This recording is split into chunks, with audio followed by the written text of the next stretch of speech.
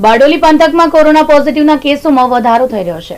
બારડોલી નગરપાલિકાના કોર્પોરેટર હિરેન ટાંક અને તેમના પરિવારના છ સભ્યો કોરોના સંક્રમણમાં આવ્યા હતા. સુરત જિલ્લાના ગુરુવારના રોજ નોંધાયેલા છોતેર પોઝિટિવ કેસ પૈકી માત્ર બારડોલી તાલુકામાં જ ઓગણીસ કેસ નોંધાયા છે.